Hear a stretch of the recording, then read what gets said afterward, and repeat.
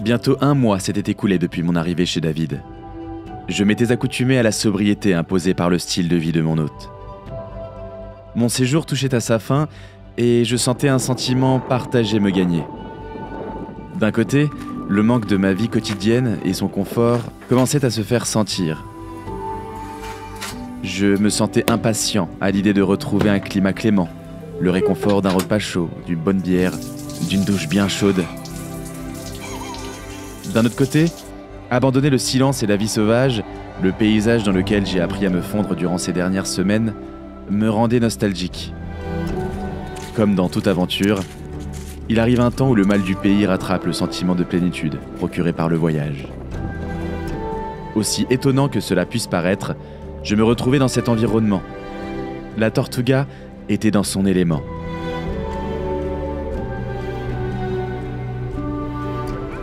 Le cercle arctique fait partie de ces endroits du globe où, où que vous regardiez, la nature vous offre ses plus beaux paysages. Devant moi se dressait le fjord de Varenger, aux eaux cristallines et aux parois rocheuses saillantes. Derrière moi s'étendait le parc naturel du même nom, un infini désert blanc et intact.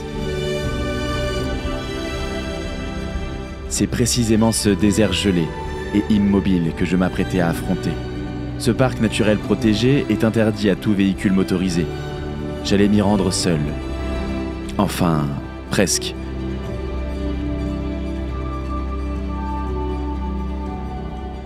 Bienvenue à toi, chère tortue voyageuse, dans ce troisième et dernier épisode de Une vie de Musher. Si tu n'as pas encore visionné les premiers épisodes, tu peux cliquer juste ici. Vous êtes encore bien trop nombreux à avoir visionné mes vidéos sans vous être abonné à ma chaîne YouTube. Il est encore temps de changer les choses. Juste un clic, et ça suffit pour me rendre heureux. N'oublie pas qu'il ne reste plus que quelques places pour aller vivre cette même aventure polaire avec moi, David et ses 29 chiens de traîneau, en Norvège, l'hiver prochain. L'aventure durera 8 jours et se déroulera fin février de l'année prochaine, en 2024. Le lien est dans la description de la vidéo.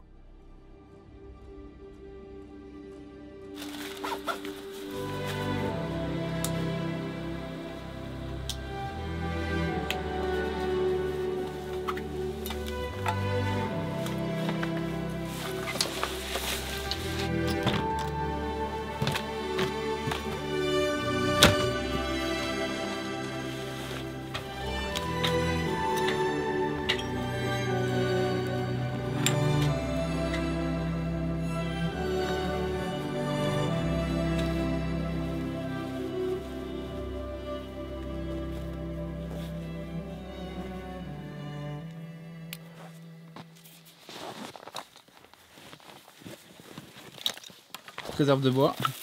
Ta petite réserve de bois pour ce soir, dans, pour le dans le poêle, dans la cabine. Hello Spam Viens là. Viens là Spam. Allez. Voilà. Allez, allez Spam. Après avoir préparé mon sac et préparé tout mon nécessaire pour survivre en autonomie, on était enfin paré. J'attache mon harnais, je chausse mes raquettes et c'est parti pour Spam et moi. Direction plein nord.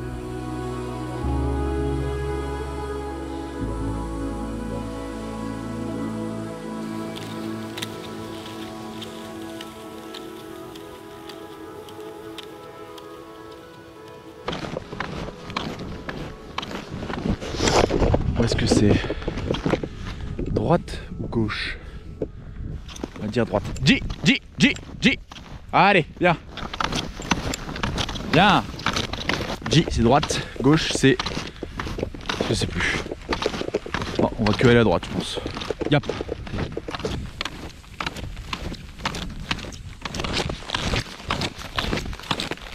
La traversée depuis le fjord jusqu'à la taïga, ou la forêt boréale, n'est pas de tout repos au vu du poids de la poulka que je tire et de l'effort fourni pour progresser dans la poudreuse.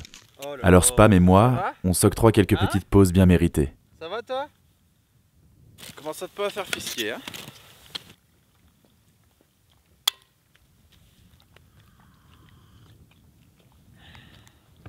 Ça va Spam? Oh petit petit.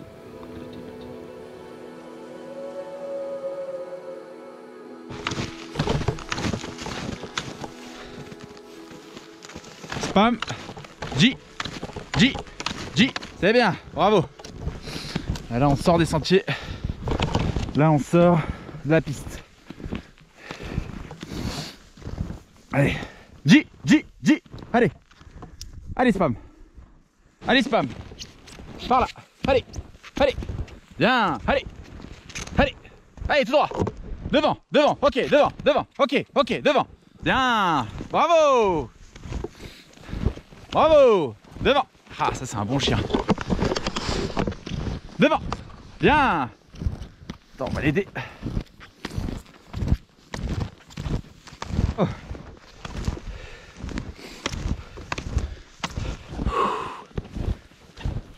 Ah putain la caméra elle va être, elle va être foutue là. Voilà. C'est déjà mieux. Devant. Bravo. Bravo. Yep. Yep.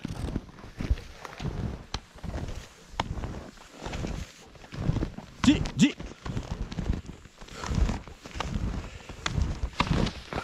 Mon sens de l'orientation dans cet environnement va alors me jouer des tours. Et on va se perdre. Je crois que je suis parti trop à droite. J'ai fait n'importe quoi. On se perd très vite dans les bois comme ça. Ok, je crois qu'on a trouvé.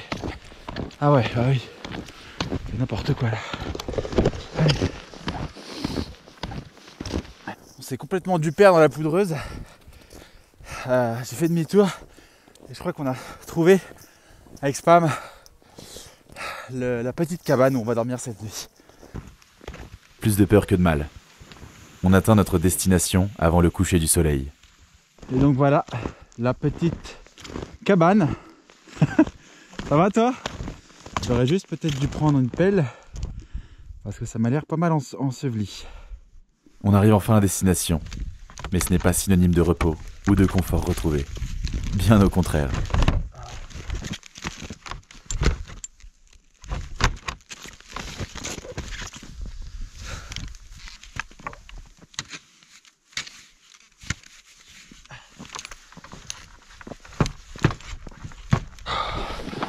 Oh la vache, c'est sympa là-dedans. Oh, c'est génial. Ah ouais.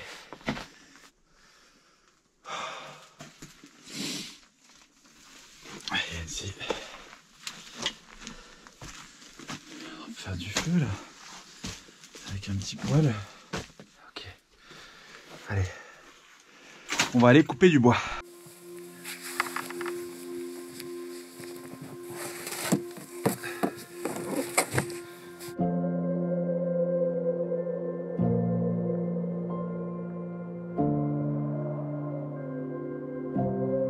Je voulais aller couper du bois, mais je crois que sans raquette,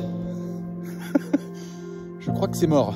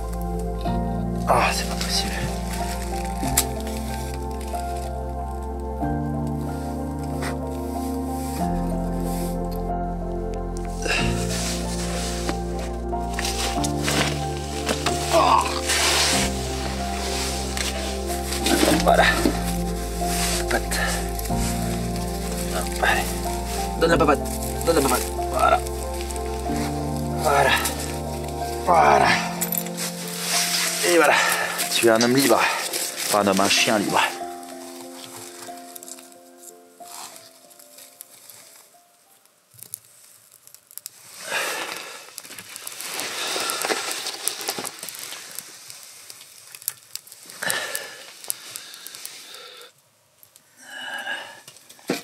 Le poêle à bois y chauffe quasiment pas. Conséquence de quoi, je me décide à faire un feu.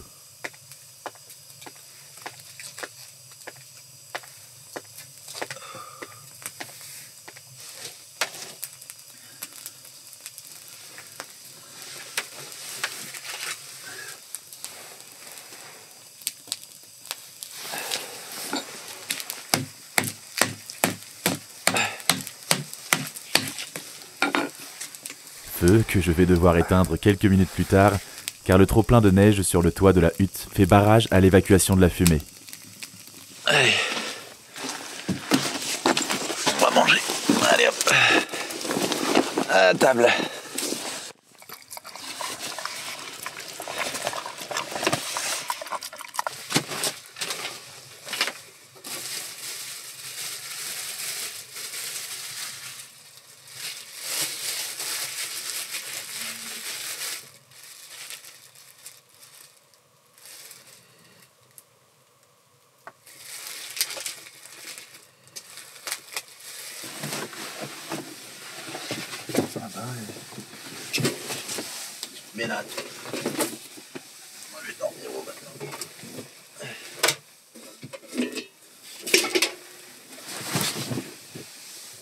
J'installe au sol les quelques pots de bêtes étendus dans la hutte.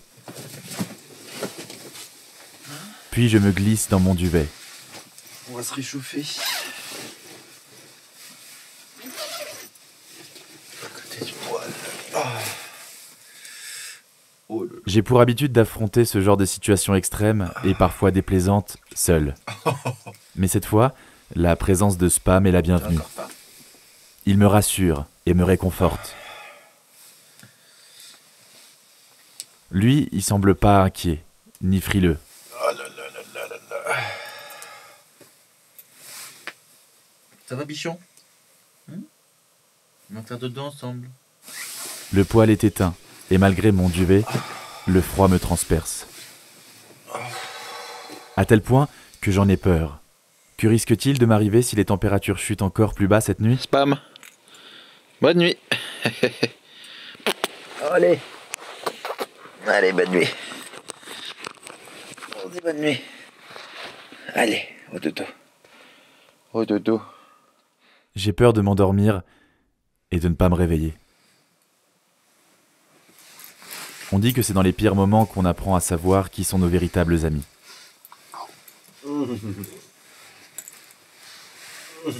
Spam a été un ami d'un grand secours cette nuit-là.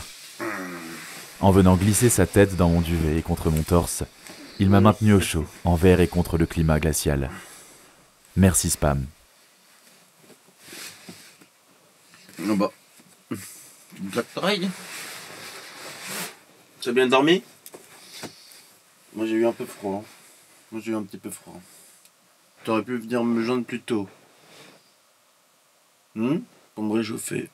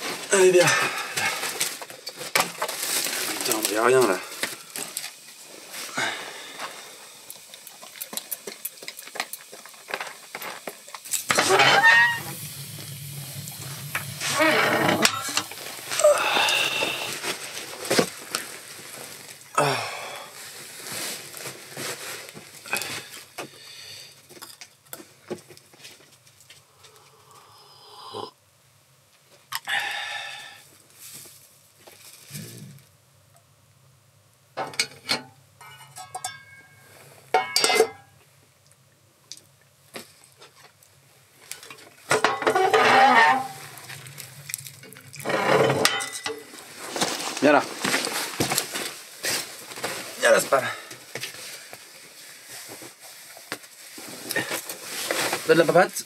Bien. Oh, c'est bien. Attends, c'est là. Hop.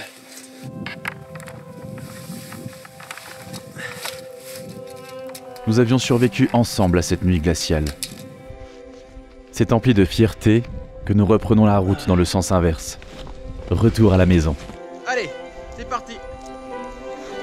Devant, allez go.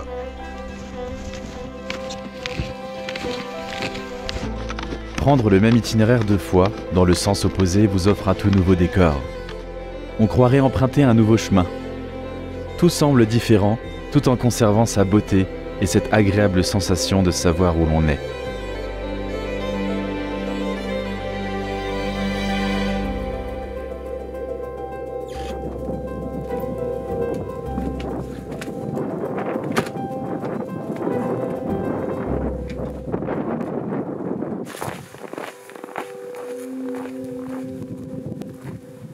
Ici, au nord du cercle arctique, on est à la merci des éléments.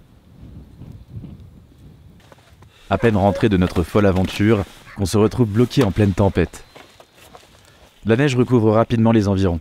C'est une mauvaise nouvelle pour David, car les traces effectuées en amont et les pistes vont disparaître pour être recouvertes par la neige. Pire, on va rester bloqué sur son terrain et on ne pourra plus sortir la camionnette. Alors on met tous la main à la pâte, en silence. Le problème, c'est que tu passes une fois, et la neige a déjà eu le temps de recouvrir ce que tu viens de déblayer. Alors faut repasser. Encore. Et encore.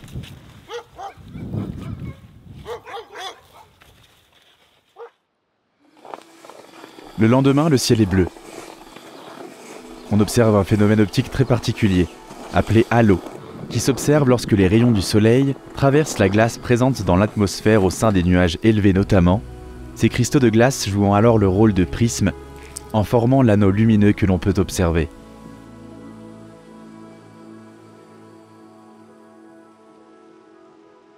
Cela fait maintenant déjà presque un mois que je vis reclus chez David, au nord de la Norvège. Je sens que l'aventure touche doucement à sa fin. Mathéo, lui, il est déjà parti pour de nouvelles aventures. Je me retrouve donc seul avec le musher.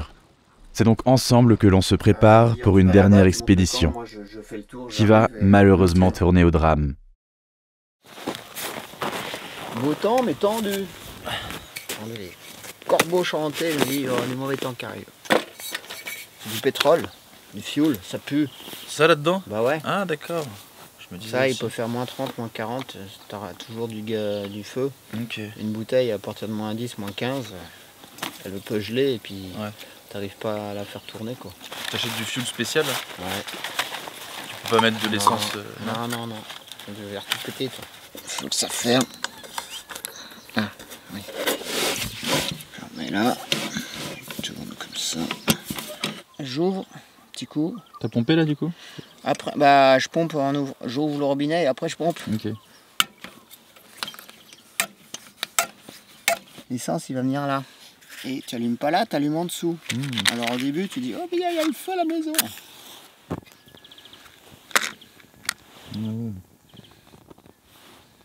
Bon, là, ça fait des flammes bleues normalement, mais là, Faut attendre un peu? ouais. Ah, c'est bon.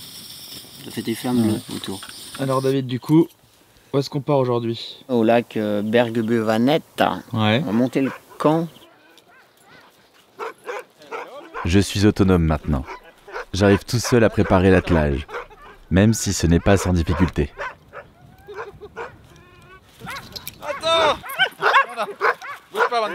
J'ai noué des liens forts avec certains chiens.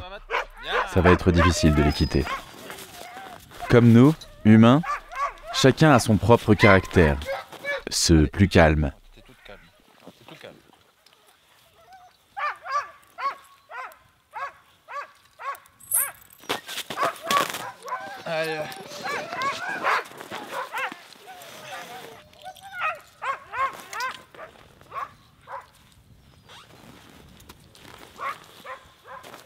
A ceux qui veulent faire leur intéressant.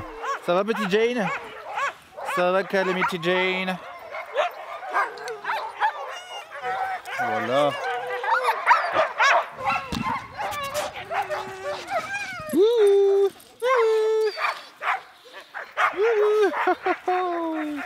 Allez, euh... non, c'est là. Ça, c'est la chaussette. Comme ça. Attends.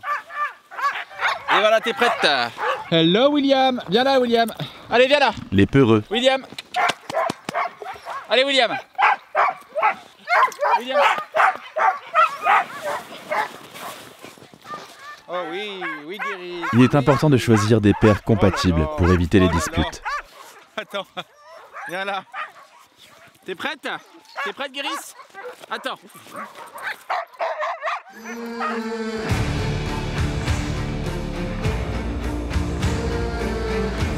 Nous étions partis pour notre dernière expédition. La mission? Nous rendre au cœur du parc naturel et bivouaquer.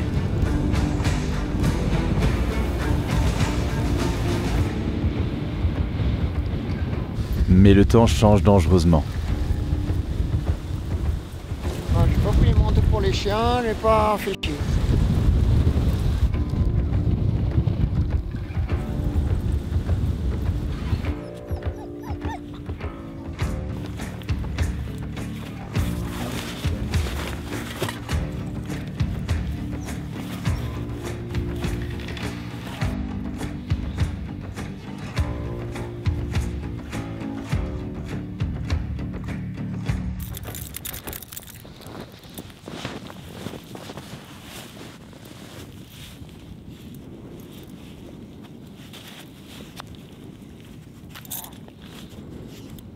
faire vite. Tasser la neige et préparer le campement avant l'arrivée de la tempête, et ainsi pouvoir nous abriter. Les chiens sont inquiets, l'atmosphère pesante. Et c'est le drame. Putain de merde Putain Pourquoi il est pas là Sur le truc, j'en suis sûr qu'il a qu'il s'est- David a oublié un élément essentiel, le poteau central de la tente. On a lu. Non, non, non, non, mais je l'ai pas mis, je l'ai pas mis, c'est pas la peine de. Je l'ai pas mis. Impossible donc de la monter. Ah, C'est des tubes, euh, c'est obligé de les avoir, tu peux pas monter la tente. C'est impossible. J'en ai marre, j'en ai marre, j'en ai marre. On doit agir vite. Les nuages se rapprochent. Le vent se met à souffler. Le soleil se couche.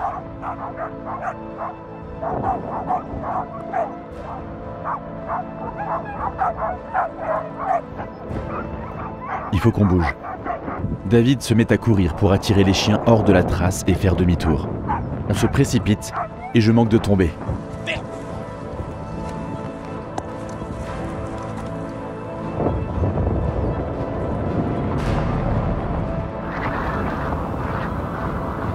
La neige recouvre les traces. On se perd et les chiens fatiguent.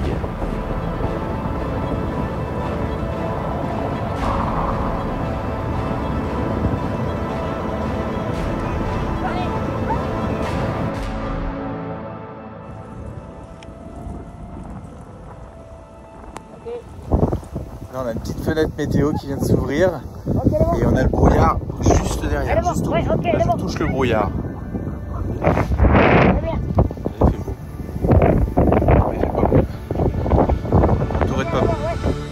On arrive enfin à devancer la tempête, qui laisse place à un ciel extraordinairement coloré.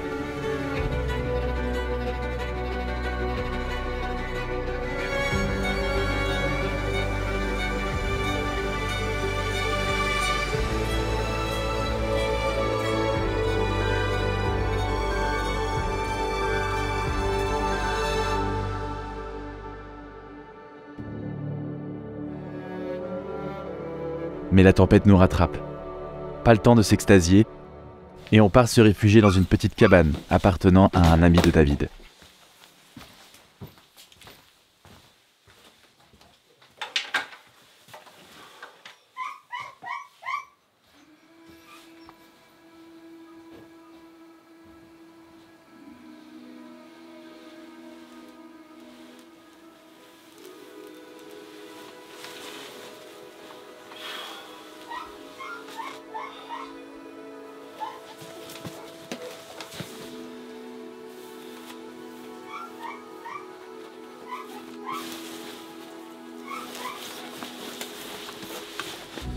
Le lendemain, on reprend ensemble la route. Ce sera la dernière fois que je monte sur un traîneau. Alors je ferme les yeux et je profite.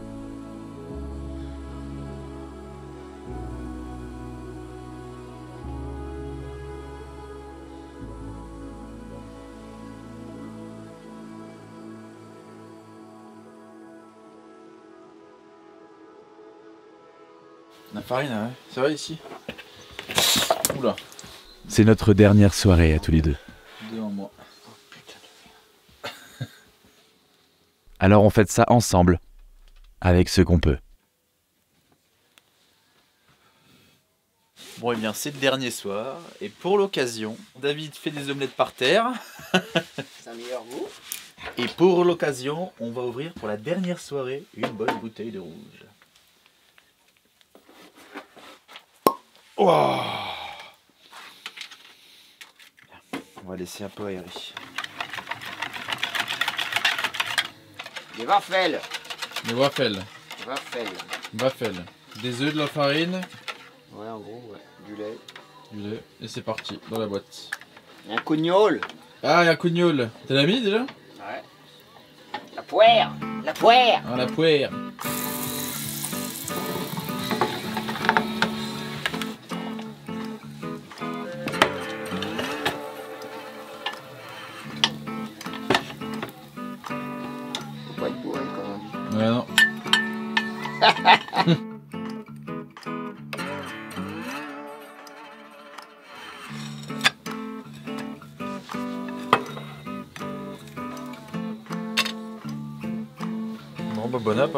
Pas une non plus Allez.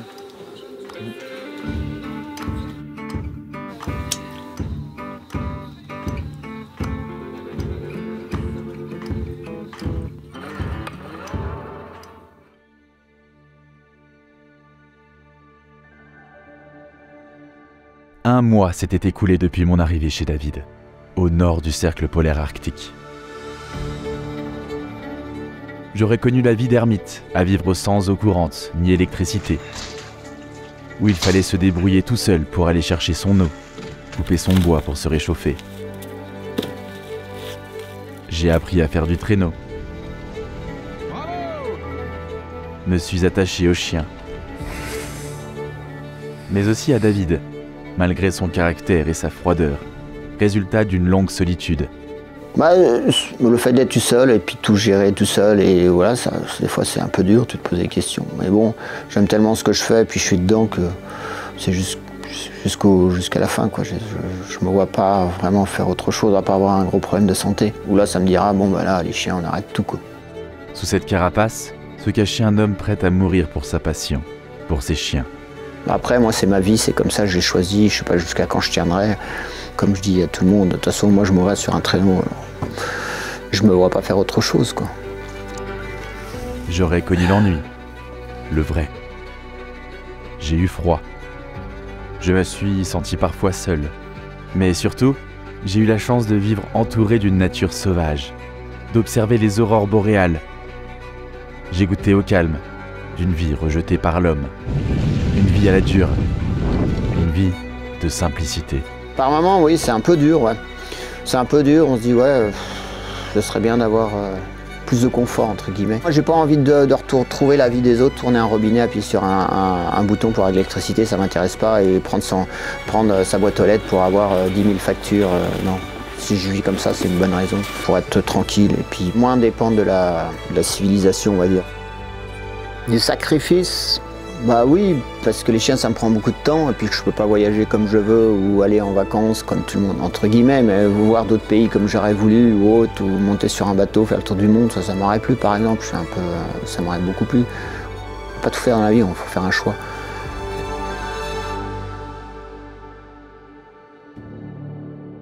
Le véritable voyage de découverte ne consiste pas à chercher de nouveaux paysages, mais à avoir de nouveaux yeux.